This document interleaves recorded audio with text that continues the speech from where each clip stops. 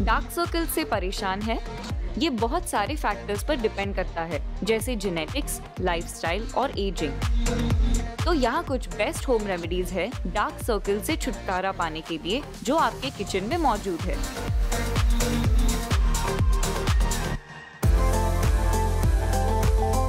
Yellow spice बहुत कुछ करती है, खाने में रंग देने के अलावा एक टेबल स्पून हल्दी और कुछ बूंदे दूध की ले और एक थिक पेस्ट बनाएँ। इसे आँखों के नीचे 10 से 15 मिनट के लिए लगाएँ और फिर धो लें। हल्दी की एंटी इन्फ्लामेटरी प्रॉपर्टीज़ मिल्क के लैक्टिक एसिड के साथ मिलकर पिगमेंटेशन और पफीनेस कम करेगी डार्क सर्कल्स के लिए पार्सली बहुत काम का है कुछ पार्सली मोटर में ले और एक फाइन पेस्ट बनाए। इसके बाद मोटर में गर्म पानी डालें। कॉटन पैड डिप करें और गुडनेस सोक होने दे।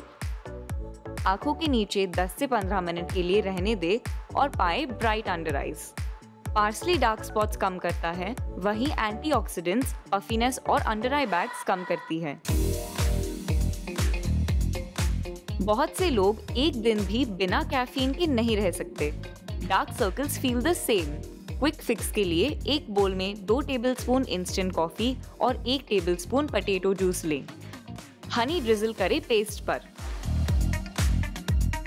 आँखों के नीचे 10 से 15 मिनट के लिए लगाएँ और मैजिक देखें। कैफीन में एंटीऑक्सीडेंट्स है और इसमें एबिलिटी है ब्लड सर्कुलेशन बढ़ाने की। ये अप्लाइड एरिया में कोलेजन प्रोडक्शन इंक्रीज करता है। वहीं पटेटो जूस पिगमेंटेशन रिड्यूस करता है और हनी स्किन को सॉफ्ट और नरिश करती है।